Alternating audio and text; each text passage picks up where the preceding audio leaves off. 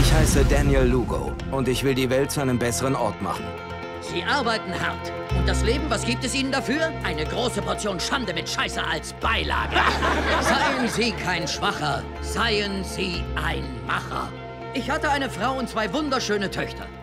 Gott sei Dank habe ich mich scheiden lassen, denn jetzt habe ich sieben hübsche Hühner, unter denen ich wählen kann. Wahnsinn. Der Kerl versteht mich. Wir haben doch was Besseres verdient. Ich auf jeden Fall. Mr. Dorbe, nehmen Sie momentan Steroide? Hat das Zeug mich fertig gemacht?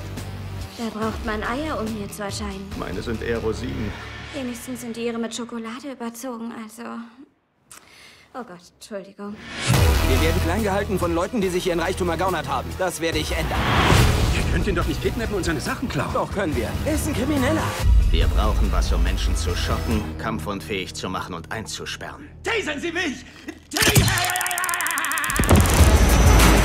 Eagle ist unterwegs. Habt ihr ihn?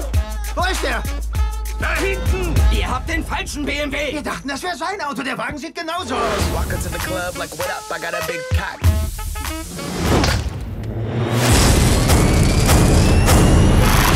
Diese Typen haben alles mitgehen lassen, was mal ihnen gehörte. Danke, Kumpel. Das ist alles notariell beurkundet und die genießen das jetzt.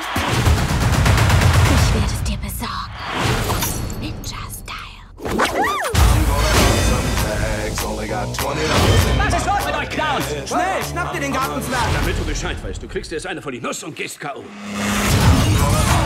Hast du Blödsinn gebaut? Ein bisschen vielleicht.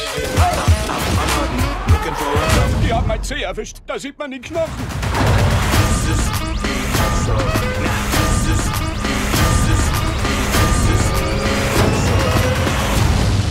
Na, du Kleiner, hast du Hunger?